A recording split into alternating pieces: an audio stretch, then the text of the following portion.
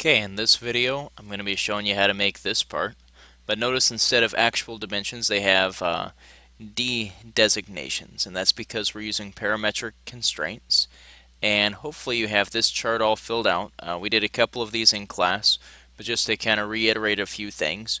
When it says like there's a 5 third ratio between the overall plate width to the overall plate depth, you need to express that as an equation and then since this is referencing D0 here, I look and find D0. Looks like D0 is equal to 3, so 3 times 5 thirds is equal to 5. If you have something that's 20 times smaller than the overall width, I want to find where it says overall width.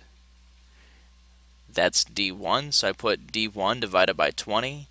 5 divided by 20 is 0.25, and continue filling out this chart um, and come back to this video, I guess, once you have that all done. Let's assume you do have that all done. And let's look at how you would make this. So you make just your basic rectangle. And then the first dimension that you put on here, your overall plate depth, instead of typing in an actual number like 3, nope, I'm sorry, you do type in 3 you need one real dimension. And then all the other ones, you tell it what it is. Alright, so now that was 3. Instead of typing in 5 here for the overall plate width, we're going to type in our D0 times 5 thirds. And then it shows you what the actual dimension is here. Finish your sketch. We're going to extrude this. And the extrusion is actually going to be uh, D1 divided by 20. Let's make a new sketch on the front of this. We're making a slot. You actually have a slot tool, if I can find it, and put under rectangle.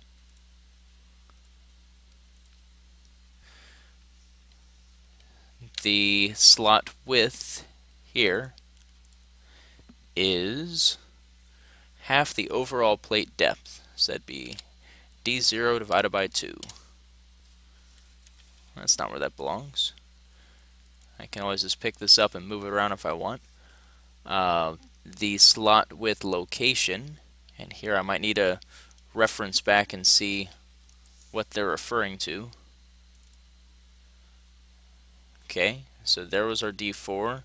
Slot width location is D5. So it's going to this point.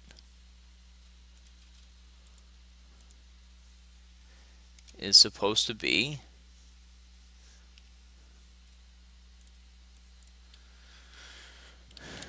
your D1 times 4 fifths. It's uh, 4 fifths the overall plate width. And then you have your slot depth location. And in this case, it's talking about from this line to the center point and click the center point. There we go.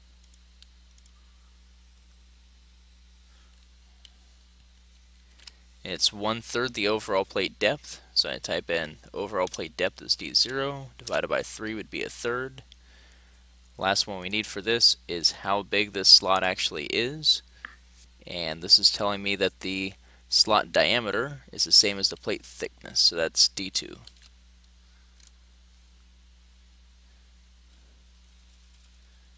And that all looks good.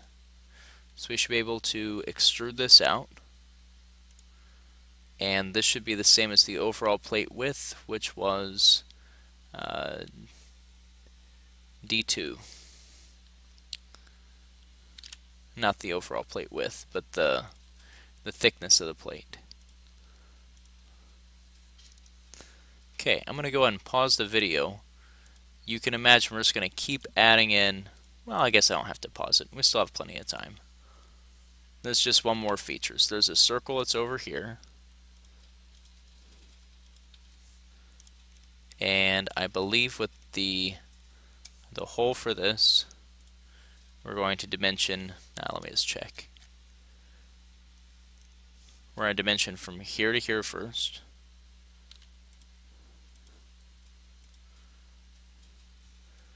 Then from the top of the plate down to the center. And lastly, the diameter of the hole.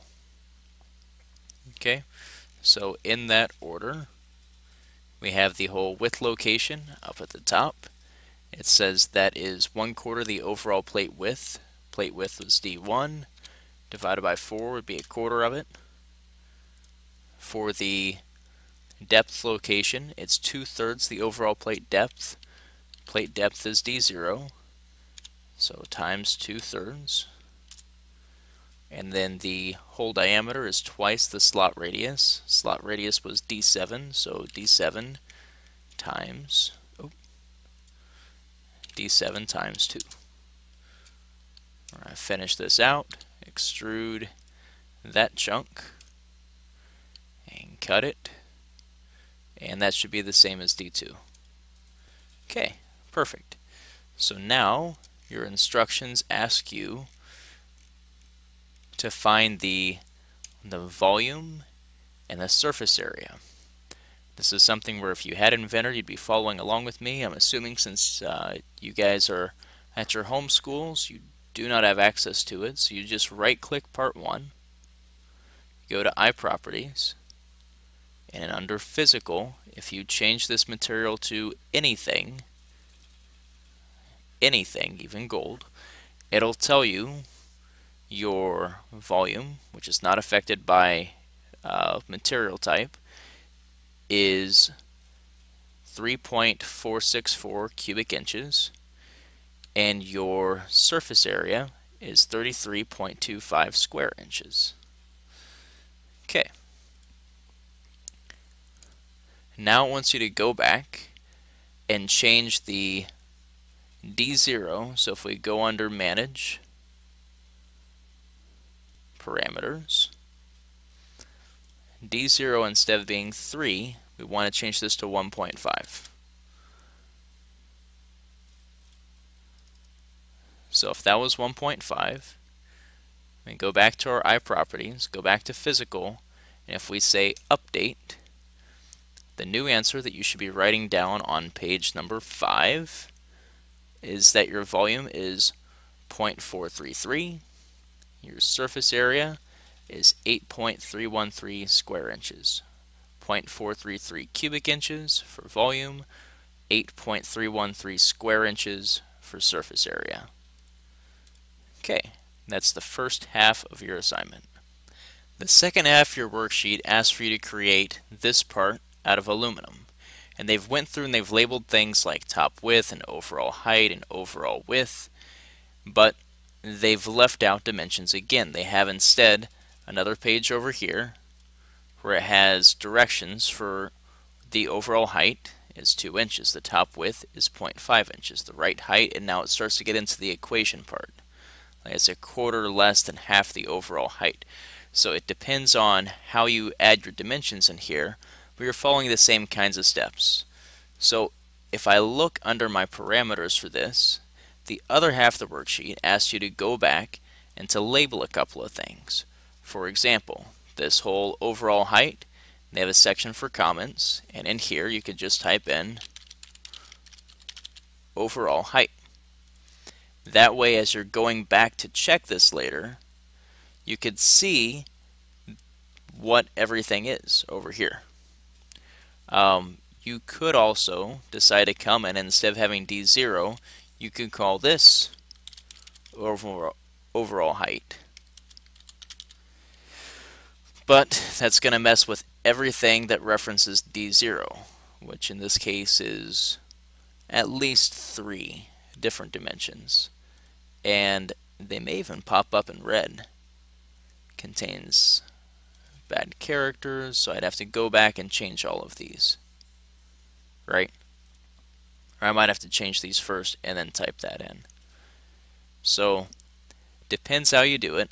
I'd rather just comment everything out here. And then, as I need to go back and change stuff, I can. Which you do have to do, because first off, it asks for you to uh, find physical properties for the overall width and the right to hole center and things. So when I asked you for overall width, you'd find it here. And for me, that was 3 inches. Um, the next one was right to hole center. And that was a special feature. It's actually a forced dimension. And that's 0.563. Your hole to hole center is again on this list. Hole center to center, 1.375. Then it asks for volume, surface area, and mass. And if you remember from the earlier part of this video, that'd be under here. You go to iProperties, you change it to physical. You make sure it's aluminum this time because we're asking for mass, and mass is affected by material type because it has a density. So the mass in this case is 0.297. The surface area is 44.293 square inches. Your volume is 3.03 cubic inches. Then you are to go back into your parameters and it wants you to change the overall width of the part here. Instead of this being the D0 times one and a half inches to change your overall width instead to 3.5 and your top width needs to change to 3 eighths.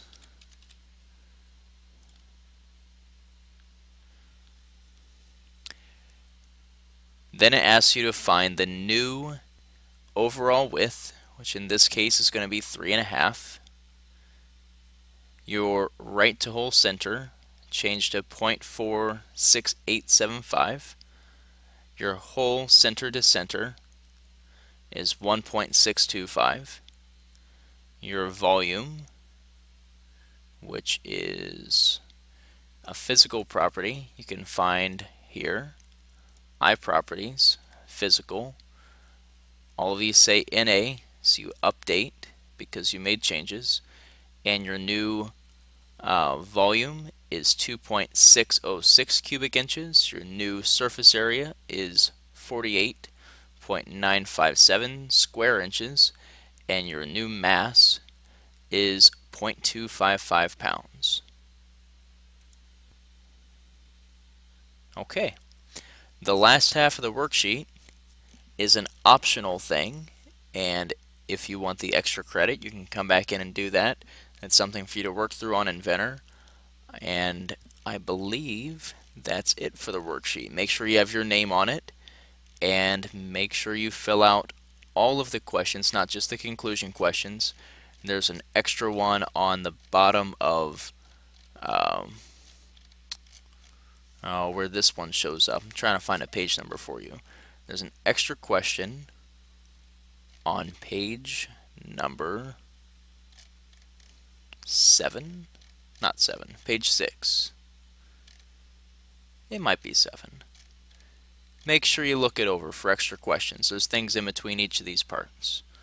Good luck.